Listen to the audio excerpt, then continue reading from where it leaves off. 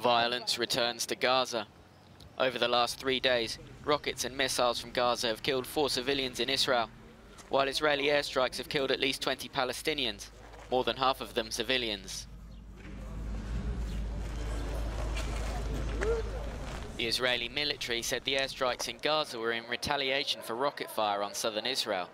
On Sunday night, a rocket hit a house in Ashkelon, killing a 58-year-old man.